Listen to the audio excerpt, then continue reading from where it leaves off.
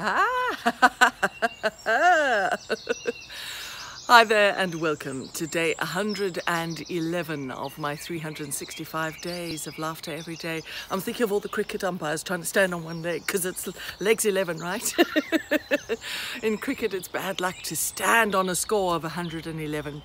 Uh, interesting, these things, the idea that there's bad luck or good luck. Well, what I wanted to say is a few weeks ago I was here in the orchard and the trees were barren. They were still struggling with the last the winter.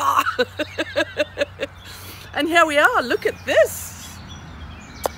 So we're getting our blossoms and soon after the blossom comes the fruit.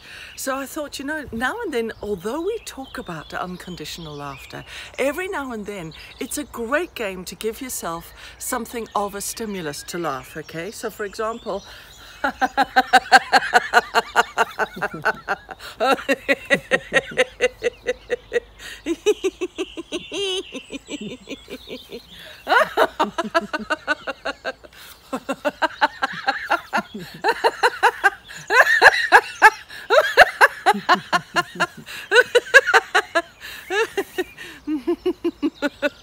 so next time I will come back here when we've got fruit.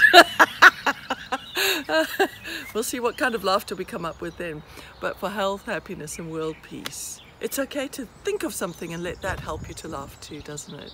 Have a lovely day. Keep laughing. It's good for you.